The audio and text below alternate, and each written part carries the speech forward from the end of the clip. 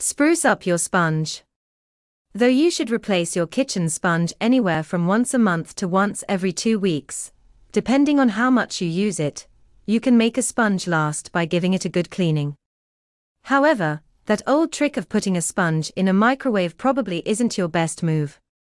The best way to clean a sponge is by mixing 3 quarter cups of bleach in 1 gallon of water and soaking the sponge for 5 minutes, then rinsing.